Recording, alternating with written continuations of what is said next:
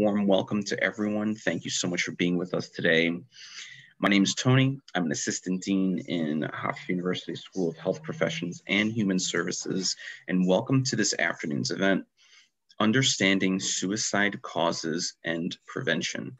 This virtual event is being offered as a part of our 2021 National Public Health Week event series, and it is being co-sponsored and facilitated by Diana Rizzo, who is a project manager with CN Guidance and Counseling Services.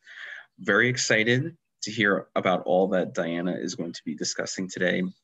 And it is my absolute pleasure to ask Diana. The virtual floor is yours to take over. Thank you. Thank you so much. I, I really am so happy to be here uh, presenting at this event. I don't think I realized that I was the, you know, the last presentation. So that's exciting. Uh, I thank everyone for being here. Uh, like Tony mentioned, please feel free to turn on your camera if you wish to do so. Uh, suicide is a very heavy topic. So sometimes uh, seeing other faces and just gauging how everyone is doing is really helpful. Uh, and I have found through all the trainings I've done, it, has been really helpful for everyone who's involved. Um, I'm going to head right into the PowerPoint slide. Uh, quickly about me, I guess, like Tony mentioned, I'm overseeing a suicide prevention grant at CN Guidance. I'll go over the exact title in a moment, but I do have experience in the OPWDD field as well as OMH and substance abuse, and I have been in the field for about 18 years at this point. So there's a lot of background knowledge uh, that I've, I'm bringing into this presentation. So please feel free to ask any questions as they come about. Unmute, and talk to me or write it in the chat and Tony will help me uh, oversee that because I don't always pay attention when I'm talking. All right, so here we go. As Tony had mentioned, this is the Understanding Suicide Causes and Prevention. This is an overview presentation. I will go through towards the end of my slides, the next steps that you might want to take after hearing some of this information to say, well, what do I do now when I'm noticing these warning signs and risk factors and how do I talk to somebody? There are definitely other trainings that I personally can provide you uh, that would help you do that. So I get to be here with you today, both for the Hofstra event and because of the grant that CN Guidance has received. It's a federally funded grant from SAMHSA, which stands for Substance Abuse and Mental Health Services Administration. And it's the COVID 19 Emergency Response for Suicide Prevention Grant, or as we've titled it, Empower Life on Long Island. I don't expect anyone to remember that huge title. You can just say the CNG Suicide Prevention Grant. That's us. And my contact information is all throughout the presentation if anyone wants to reach out to me for any reason. A few things. Uh, the discussion today is going to focus on adults and how suicide impacts adults. You can certainly ask questions about youth or teens if that comes up as well. Um, in general, it is also an epidemic for any age, and it also has been exacerbated by the COVID 19 pandemic, not just adults, also our teens and children. A few things before I get into this topic. Suicide is extremely serious and it can be very triggering for a lot of us. So, if you need to step away at any point during the presentation, I definitely understand. Please come back as soon as you can. Um, but as I go through the statistics, we will realize that many of us on this call right now and at this presentation have been touched by suicide personally, professionally, uh, family members. So I do understand if what we're talking about can be triggering at times. I also ask that you forgive yourself. If you have lost anyone to suicide in the past or have struggled with thoughts, you know, on your own and didn't ask for help, please don't take any information that I present today and apply it to your past and beat yourself up about it. That's not what this is about. This is about moving forward and doing better tomorrow. I, I, like to say during my trainings that we are human beings just doing the best we can each and every day with the information that we have, both for ourselves and our loved ones. And that's all we're doing, right? So don't take information today and apply it to yesterday. Last thing laughter is okay. If you laugh at me, it's fine. I laugh at myself. It's not going to demean the topic that we're talking about or be disrespectful to anyone who's struggling with suicide. But I flub up my words. I move the slides too fast. We might talk about something that makes you giggle. It's okay. Laughter is medicine, it's a coping mechanism, and it's totally fine. So, this grant came about at the beginning of the pandemic. It was already seen that the COVID 19 uh, pandemic was affecting us with isolation and everything else, and was exacerbating some mental health uh, symptoms already. So, we're going to go through this as we go through each slide.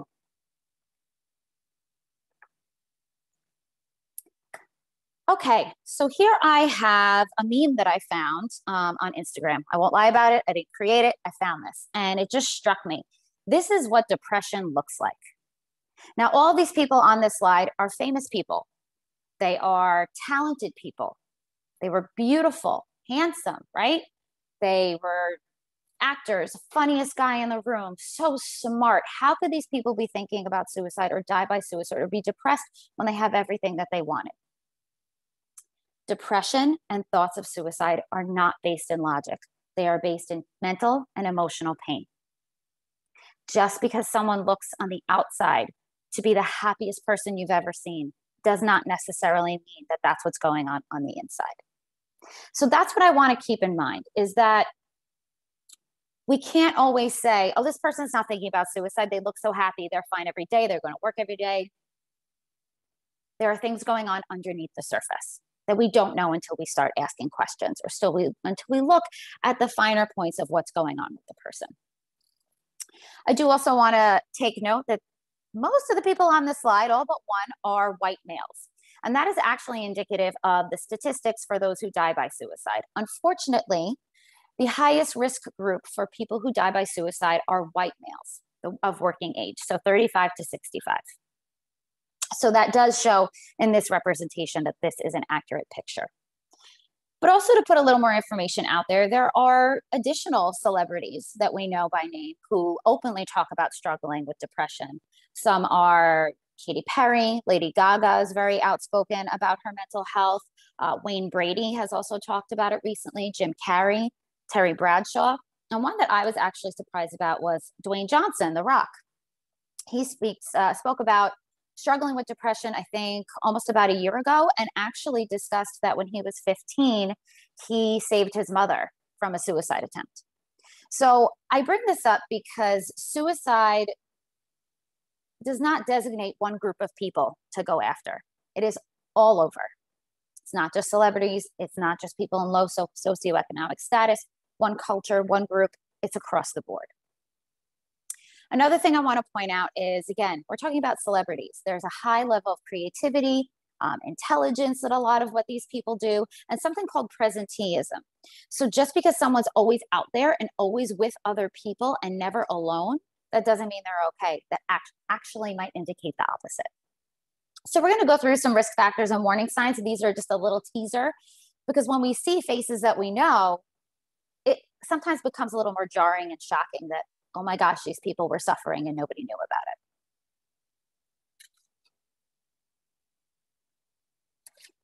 Here's some statistics for New York for 2020. So these are the statistics for New York State. 1,723 people died in New York State from suicide in 2020. It's the 12th leading cause of death. Suicide each year is always somewhere between the 10th or 12th leading cause of death, depending on what else was going on that year. But let's also look at the national number. We're talking about over 48,000 people. Now, to give you a perspective on that, we're talking about filling Yankee Stadium seating with 48,000 people. I think it seats up to like 53 or something. 48,000 of them are filled with souls who we have lost to suicide. Suicide is the most preventable cause of death, and recovery is possible, but people don't always realize that. So to give you another picture, 5% of Americans are thinking about suicide right now. That's one in 20 people. We have 25 people right now at this event. At least one of us is thinking about suicide. I say that at every training, at everything I do. And when I can see the faces, people go, uh-uh, oh, because usually agency or and everybody knows each other. And that's scary to think that you could see 20 people in one day and at least one of them is thinking about suicide. And what that translates to is that at this moment, 16,500,000 people are thinking about suicide. So when we think it's not appropriate to ask the question, just remember these numbers, right?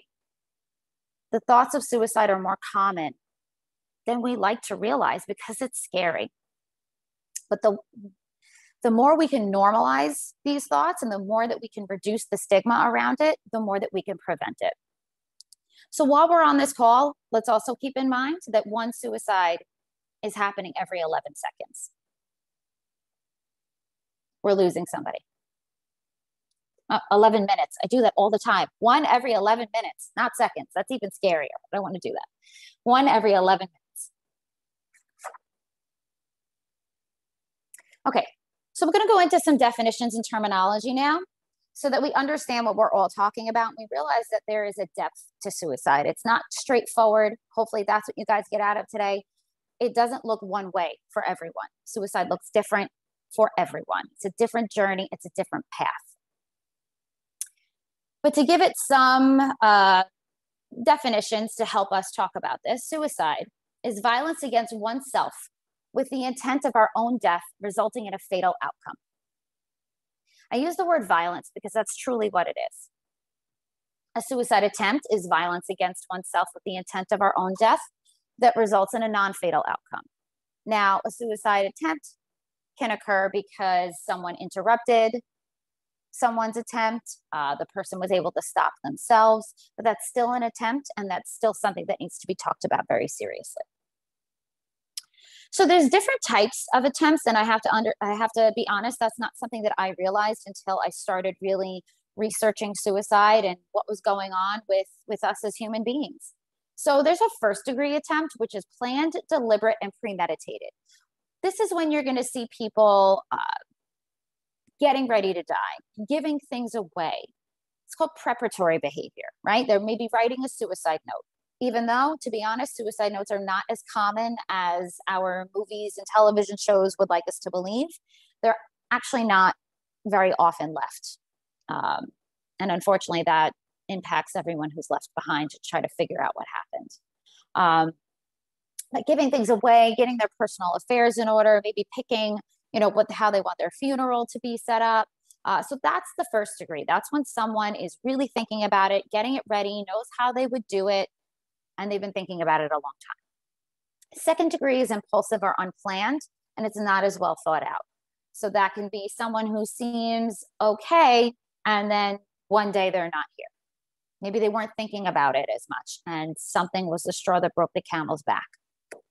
Third degree is when a person deliberately puts his or herself in a dangerous situation so that they might die. The intent is not always clear, so a lot of times these would be uh, ruled as accidental deaths, maybe not a suicide. So I also want you to keep that in mind from the statistics I provided. Statistics are only as good as the information that goes into it, right? After someone has unfortunately died, we don't know what was going on just prior to that. So the third degree is also intentional life threatening behavior. So that could be someone stop taking medication that they need to remain alive or continuing to drink alcohol uh, when they have cirrhosis of the liver driving their car extremely fast without their seatbelt on on a rainy day, maybe hoping that they get into an accident, uh, excessively using drugs or alcohol, not caring if the ultimate outcome is that they end their life. Any questions so far? Are we? I do see one in the chat, Diana. Okay.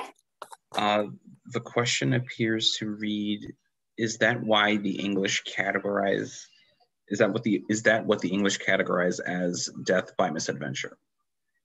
I have not heard that term, but that would make sense. That's a new term to me, death by misadventure. I haven't seen that. I'm writing it down. You learn new things every day. Adventure. Okay. I would assume it sounds kind of similar to that terminology, but I'm going to have to look that up. Thank you.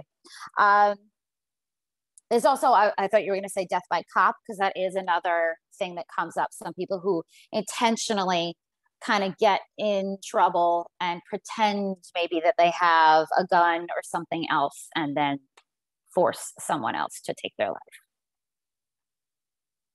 Something else come in? Uh, the person who asked the question says thank you. Oh, okay. You're welcome. Okay, so next is just changes and updates to our terminology. So far yet, you guys have not heard me say committed suicide because we are moving away from that terminology. Um, committed sounds very derogatory. It connotates a lot of blame for the person who has died. Um, when hopefully what you'll get from this presentation is a lot of people who land on the decision to take their own lives are struggling. They are in pain, emotional and mental pain, and they are done. All they want is for that pain to end. It is a less ditch effort to feel better, right? So for me, that doesn't feel like a commitment. That feels like I just can't do this anymore. So we don't say committed suicide. We also don't say um, successful suicide. That was kind of out for a little while. This can lead one to believe that it's something that you want to you want to achieve, and that if someone did not die, they're a failure. A lot of times, teens, when this uh, kind of terminology was out, I was reading that teenagers responded very neg- negatively to that, saying, "Oh, see, I can't even kill myself right." you know I, I couldn't even do that right. I can't do anything right. I'm a failure.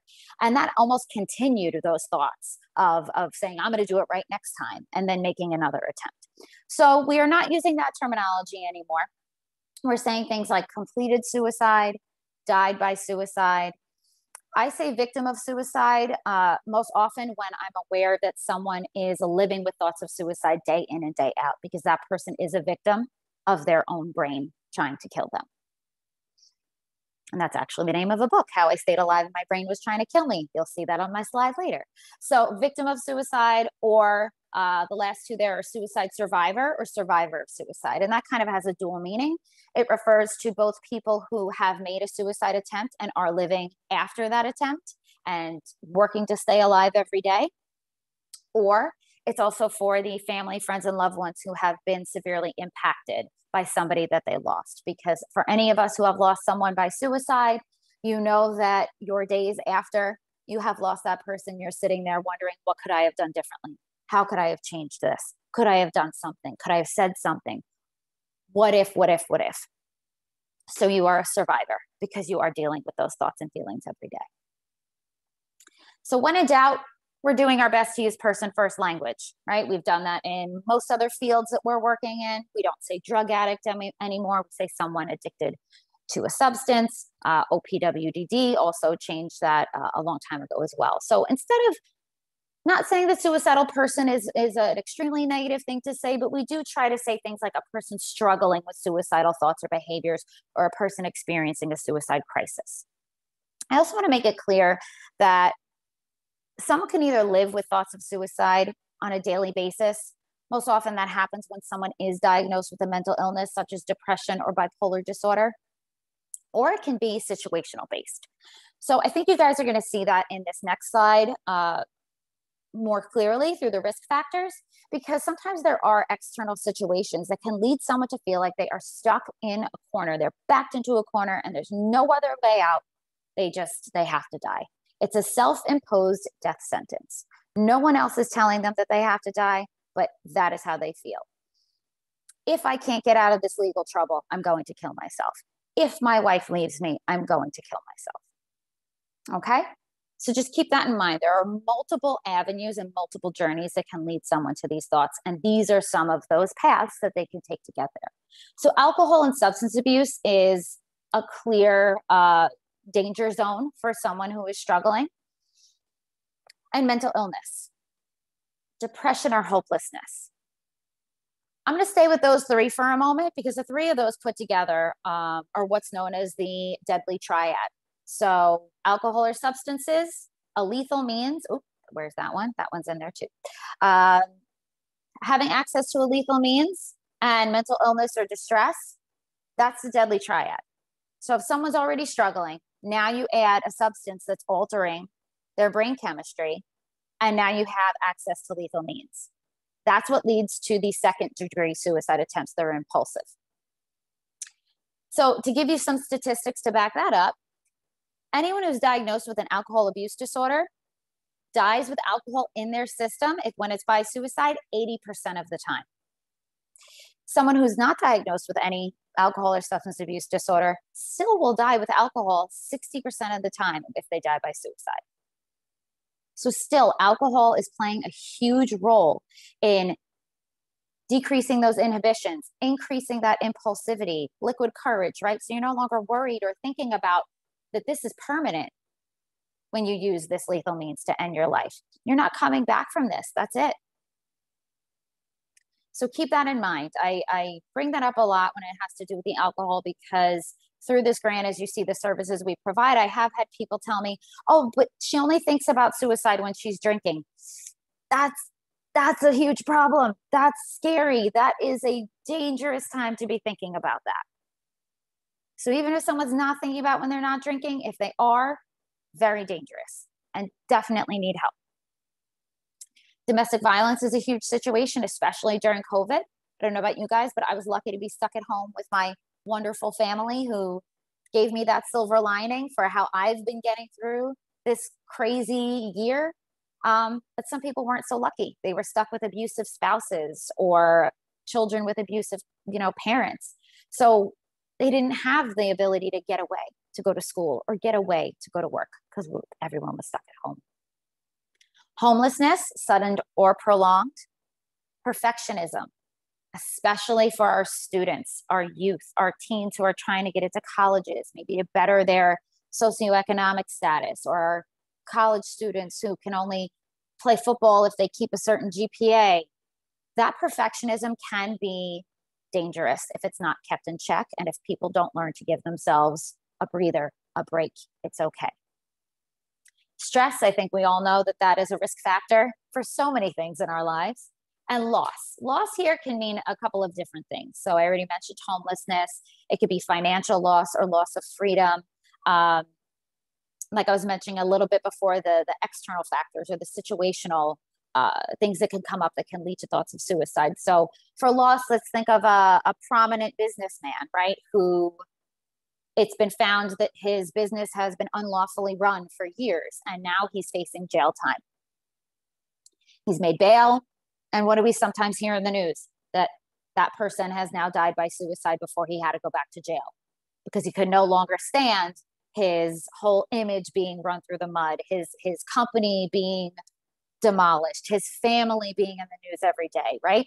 So sometimes that person may have never been diagnosed with any mental illness, but that situation backed him into a corner, and that was the only way he saw to get out. A decline in health, which or a recent medical diagnosis. Sometimes you see that as well. Someone might think about suicide because they don't have the money to pay for the medical bills. They don't want their family to go through that stress. Lack of sleep is huge. I don't know about you guys, but after I had my children and I wasn't sleeping because they weren't sleeping and I was up all night rocking them, my thoughts were weird. so if we're not sleeping, we're not thinking right. We are not ourselves. So anyone who's not sleeping, we should be checking on them. LGBTQ community is definitely uh, at risk simply because of understanding and acceptance, especially if someone doesn't have a family, it's going to accept um, their differences and embrace it, or a community that's not going to. There's definitely concern that someone can feel alienated, alienated and isolated. If someone close to us dies by suicide, especially if it's a child, uh, if a parent dies by suicide, that person is at a higher risk. A history of attempts. If someone has made suicide attempts in the past, what that's showing us is that suicide has become part of their coping mechanisms. They are using the thought that, well, if this doesn't work out, I could just kill myself anyway they're using that as a coping mechanism. It's not a good one, but it is a coping mechanism. Just like self injurious behavior is a coping mechanism. And, I will caveat that with you, typically self injurious behavior does not have the intent to die. So it wouldn't be um, considered a suicide attempt, but you do definitely have to ask someone if they are engaging in that behavior trauma is a is i think all of us hopefully recognize that any type of trauma and it's trauma that the person feels. It doesn't, I might not think that something is a traumatic event, but if that person feels that it is and it's impacting their mental health, that is a huge risk factor. PTSD for our, our veterans or our police officers. Access to lethal means, which I mentioned before, that is huge, huge for first degree, second degree, third degree, any type of suicide attempt. Access to lethal means is a huge risk factor. Prescription drug side effects. I don't know about you guys, but um, it kind of pains me to know that we are the only country that has prescription drug uh, medication commercials on TV. And that bothers me for a multitude of reasons, but one of them, if you pay attention to the next one that you listen to, and it's any type of uh, drug, not just for mental health, any. There's fast talk at the end or very small writing at the bottom. And it says eh, typically, if you're having uh, thoughts of hurting yourself or others, or depression or hopelessness, or thoughts of suicide, contact your doctor and stop taking. I mentioned this one because in one of the books I've read in preparing to provide these trainings, there was a very long story about a woman who lost her husband because he did die by suicide. She knew he had changed after taking a medication, but didn't think that they were correlated, right? Um, and this was kind of in the beginning, I think, when we were all realizing that our prescri- prescription drugs have a lot of side effects. So just keep in mind, it's totally okay to ask people if they start a new medication, if it's, you know, one of your loved ones and you're aware to ask how they're feeling on it. Bullying is also huge. I have that on there. I know I said I was focusing on uh, adults, but in my opinion, bullying happens into adulthood. Not all of us grow out of it, unfortunately, but especially for our teens and our kids. Bullying is on the internet now. It's happening on Instagram. It's happening on Facebook. It's happening when they're playing, you know, their games.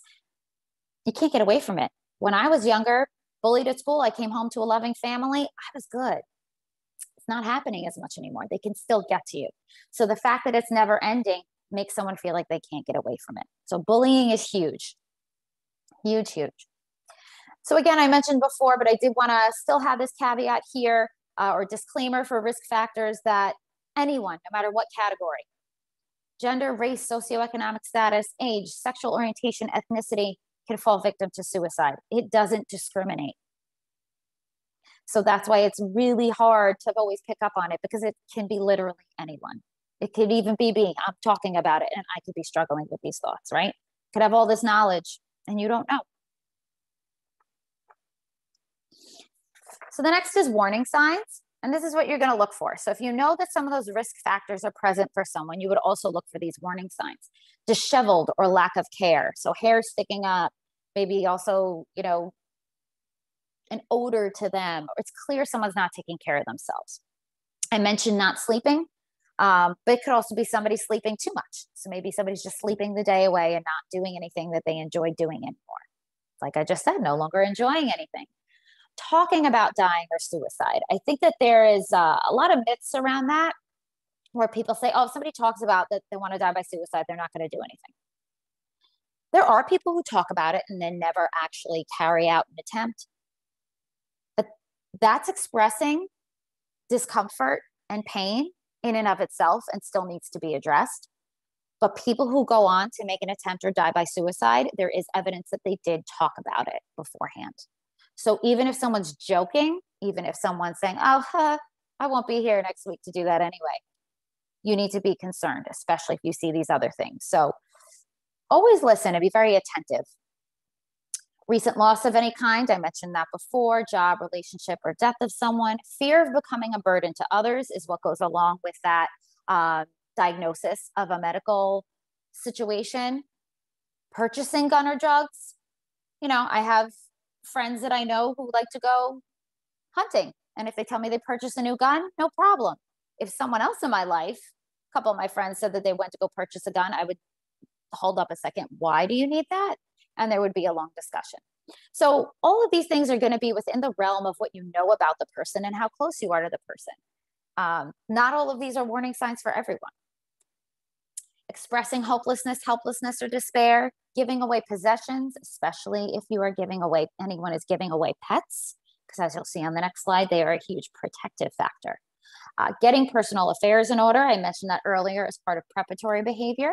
So that would most likely go along with someone who is planning to die by suicide for a long time. A change in interest or belief in religion or higher power. So if you have a friend who's very religious and stops going to church, you might be concerned why they all of a sudden have lost their faith and vice versa. Someone who never before talked about the afterlife or God or anything, and now that's all they're talking about, you should maybe be concerned about that as well. Isolation is huge. I know we're all kind of isolated from the pandemic, but if this person wasn't even having Zoom calls or FaceTime or picking up the phone or texting you back, that's a concern. I have saying goodbye on here. Uh, because I don't know about you guys, but if you get a weird phone call from a friend you haven't talked to in a long time, or just a conversation that feels like someone's saying goodbye, or just saying, I'm sorry. Well, for what? Oh, don't worry about it. Just know that I'm sorry. That's someone reaching out and they're trying to tell you something. This is also happening more on social media, Instagram posts, Facebook. Uh, personally, a friend of mine who I did lose to suicide a year ago, um, she did put her goodbye on Facebook. And, you know, that's painful because that's still there. We can all go back and look at it. Um, and that's how, you know, social media and things like that have changed our world. Everything is out there all the time. So saying goodbye is very concerning. Keep your eyes out for that. And this last one, suddenly calm. So if someone who's been having distress and troubles and struggles and expressing hopelessness is now all of a sudden calm and happy.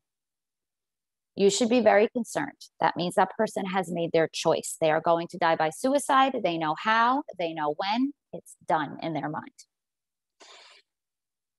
Everything else you've seen up to that point is an ambivalence, a back and forth of should I stay? Should I go? Should I live? Should I die? What should I do? That suddenly calm means that they've made their choice. There is still time to turn that around, but that means at the end, we're getting to the end here, and we really need to intervene if we haven't before. So these warning signs can be present without someone contemplating suicide. Yes. However, the presence of multiple signs often indicates a suicide crisis or some other mental health crisis, and it's better to ask ask about them than to ignore them because asking that question will save someone's life. I don't know about you, but I needed a breath there.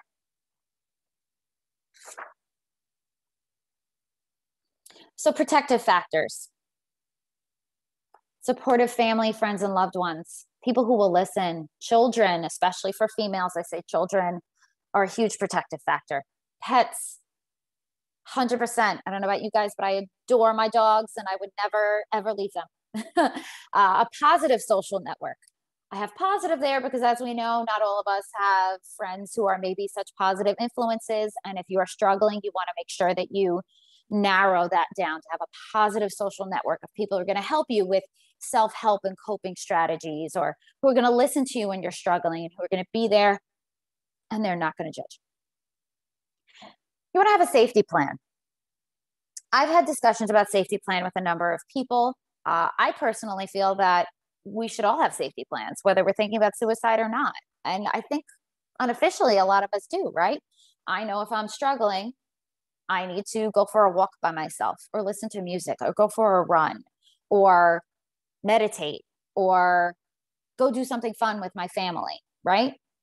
Or I need a good night's sleep that maybe I haven't gotten in a while. But we all know, or you know, the people you can call if you're struggling. So a protective factor is having either official or an unofficial safety plan. You know what to do when you're struggling. Another protective factor is difficult access to means. This one can be tough at times, especially if it's someone who's an avid gun owner or a war vet who just feels more comfortable with their gun at their side or in their home. But and I keep talking about guns because guns are the most lethal means of suicide. And if someone does choose to use a gun uh, to end their life, it is more often than not going to be successful. And if it's, I know I wasn't going to say successful and unsuccessful, but if it is unsuccessful, um, they are left with permanent damage. So we do want to reduce someone's access to their gun if they are feeling suicidal. We want to make it difficult by any means for them to get that thing together to use it. Thoughts of suicide last about 10 minutes. That that severe desire to end your life lasts about 10 minutes. If you can't get your gun together or you can't get all those pills together, you're going to be alive at the end of those 10 minutes to call the person on your safety plan. You're going to realize that what your thoughts are doing and you're going to be able to interrupt them and reach out for help. So, difficult access to means. If someone's amenable to it, giving their guns to friends to hold on to while they're feeling this way. Uh, one creative solution was a man who said, I can't get rid of my gun, but I will put the gun locked up in a cabinet in that room, and then I will take it apart and with the bullets, and I will freeze them in water in the refrigerator in my garage that's also locked. So by the time he would be done chipping the ice away or melting that ice to then put the gun together to then end his life, his thoughts of suicide would be over. So you see what we're saying with that? And that was a plan that that man developed with the help of his uh, professionals and with, with his uh, therapist. Anyone who's struggling with this crisis has to be involved in that plan. So that was his plan to keep himself safe. It's important as a protective factor that we have something to believe in. I don't care what we call it. We can call it, uh, I think one book I was reading, uh, she was referring to as the divine or the universe or God or anything. But if we believe in something, that's a huge protective factor. Hope in and of itself that tomorrow will be a better day and the next day will be better and the next day will be better is a protective factor knowing that there's meaning or purpose in our life, whether it's our job or us raising our children or how much we're there for our friends or volunteer work that we do. That purpose keeps us here day in and day out. Good health. When your body feels good, you mentally feel good, emotionally you feel good, and you're moving. Positive self esteem. That one's tough at times, but positive self esteem definitely keeps us here each and every day. For those of us who need medication to help our brains uh, function. Staying compliant helps us be here each and every day. Uh, a sidebar to that is I personally look at the brain as another organ in our body, just like our, we could have diabetes, right? And we need to take medication to regulate that. We have heart disease, it's our heart needing a little bit of extra help from medication to help it function. So it's the same thing with the brain. So I, for one, don't understand the stigma that if someone's having an issue with their brain that's an organ in their body, why are we blaming them? Let's help them do this. Let's help them see what needs to be done to uh, help it function properly the neurons, the serotonin, whatever it might be. That's not someone's fault that that's not working. So, medication compliance really helps people to think more clearly and have their brains function properly mental health treatment. Therapy does wonders. It opens up things that people didn't realize happened to them in their lives and helps them deal with them because trauma is real. Trauma can sit in your body before you vocalize about it, before you talk to anyone about it, and it can be there without you knowing it, eating away at you. Um, individual and family or group therapy. I'm a firm believer in, in everyone's mental health uh, is a different recipe right? We all have a different way of protecting ourselves from thinking about suicide, from depression, or from just having a bad day.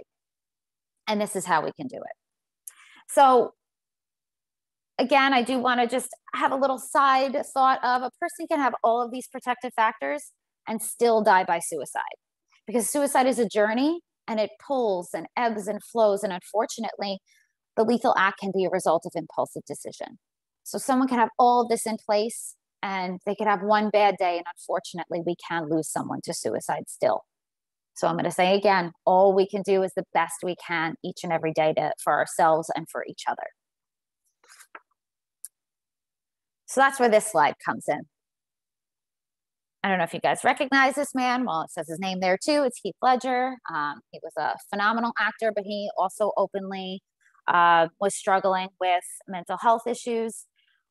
I believe ultimately the judgment was that it was an accidental overdose, but we don't know.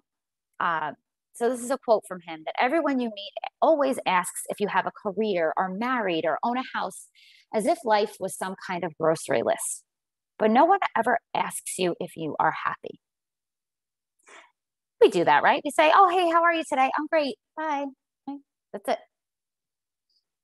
So, my question is Do all of us on this call right now have someone who we can truly be honest with when they ask us how we are today. I do. I need it. That's really, really important, especially for someone who's struggling with suicide. They need to know that there are people they can talk to who are not afraid of their scariest thoughts. And if you're one of those people, uh, something you can say to them is that if suicide crosses your mind, just know I'd rather listen to your story than attend your funeral. Because that's the reality, right? We all need to have these people that we can talk to, and people who are struggling need us so they can do that as well.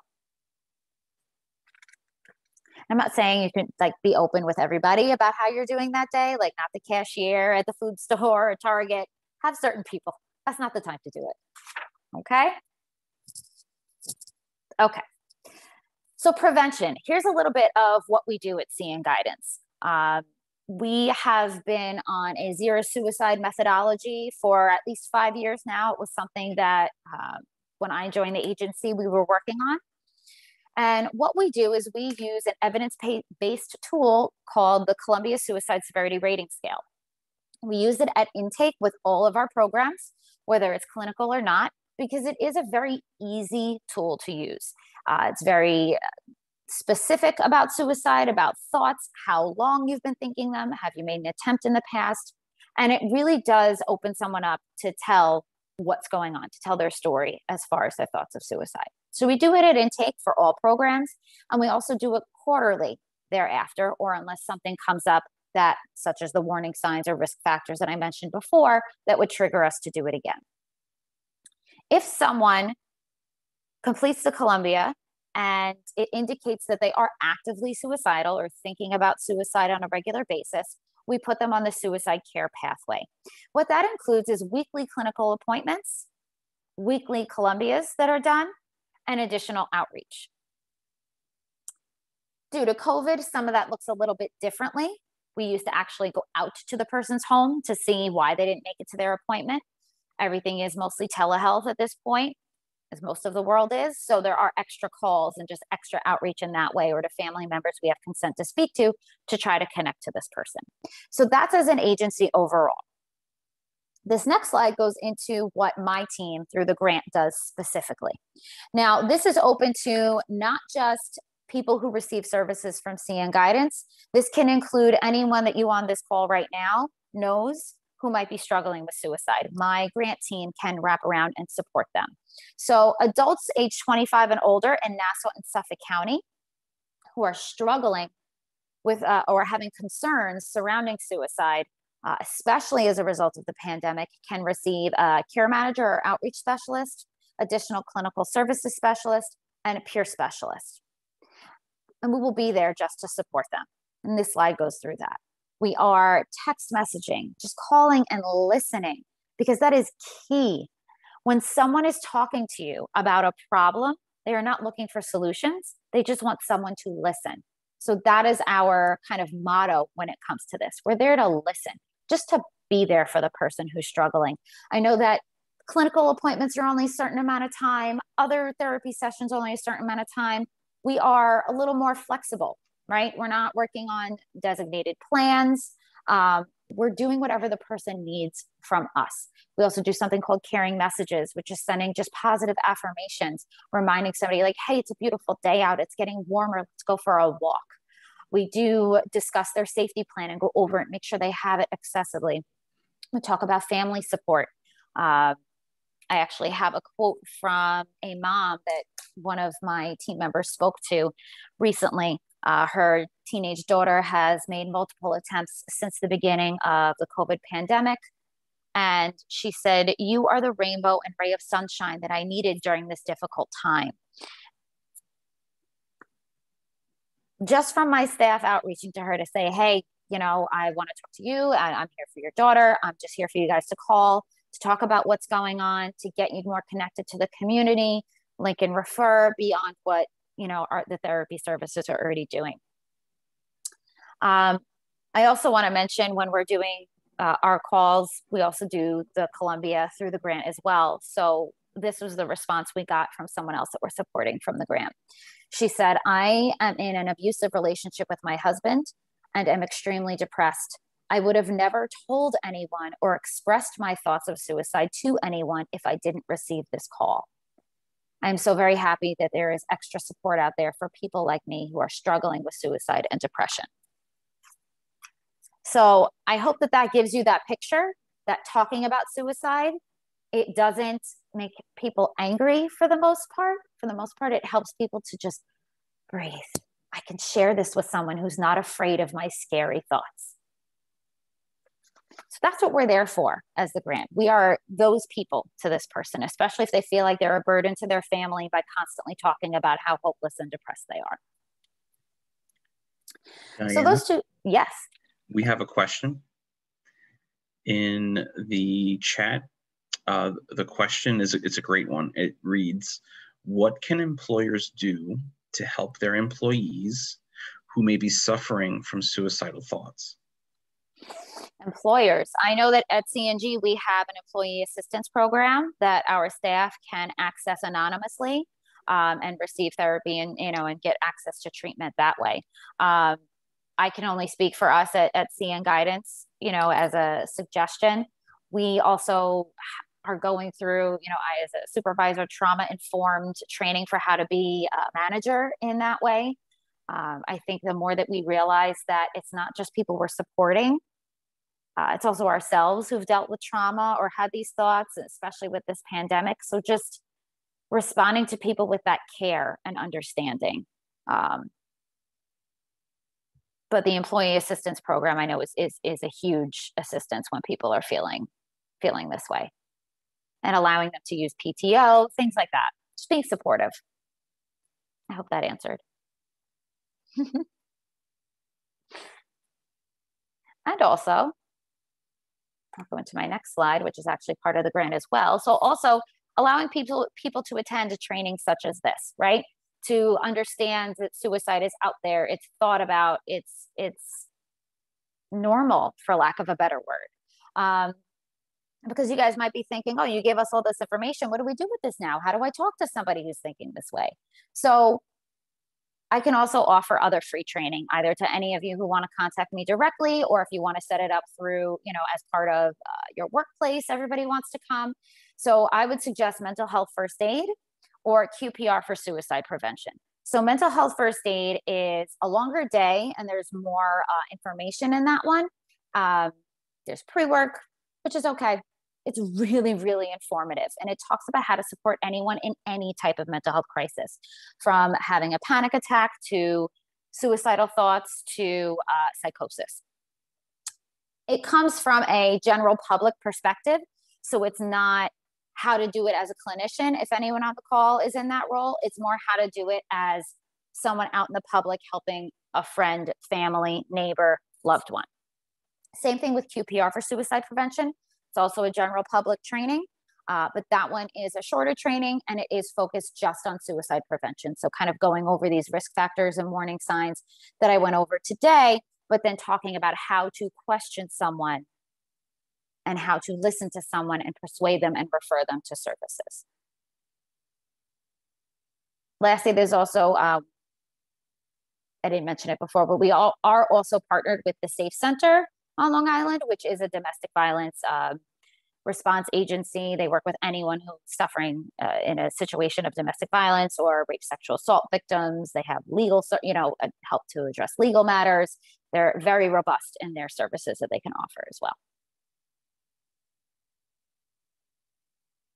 Did the chat go off again or are we good? There is a comment. It, okay. it states Thrive NYC. As another resource? Oh, someone raised their hand. Um, question. Yes. Um, I know college is like very, very stressful and depending on the person's major or their field, there's no room for errors and it's very competitive. So has your program partnered with any university in Long Island or in general? It actually enforces on quite prevalent depending on the campus that you're at. Martina, I, I heard the foundation of a great question. You did cut out a few times. A part of the question I heard you ask was has your organization, meaning CN Guidance and Counseling, partnered with any universities on Long Island? Um, would you want to try to ask your, your full question again? Oh, no, that was the question. okay, okay, awesome. I think I think we did. We got the we got the best parts of it. It, it kind of eked out. Um, so I mean, what we're doing right now, you know, me working with Tony is definitely part of that, and there's definitely other things um, in discussion. And I have reached out to other colleges as well, uh, with recognizing that you know even when i went to college and i was able to go to my classes you know in person it's even more stressful now how our education is all kind of mixed up with who's able to be on site who's not who's doing it virtually. So i have reached out uh, to some and i'm waiting to hear back but i am in agreement that this training and this discussion is definitely important for assisting our young adults who are going to college right now.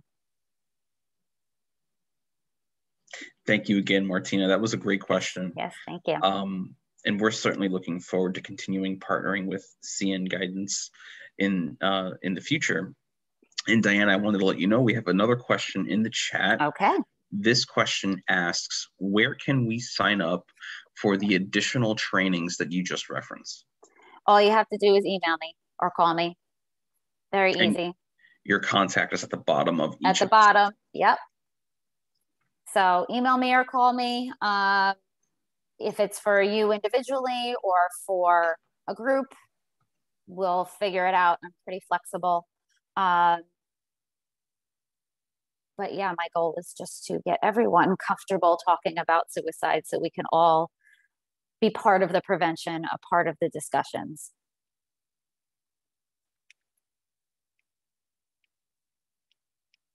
See some things coming in.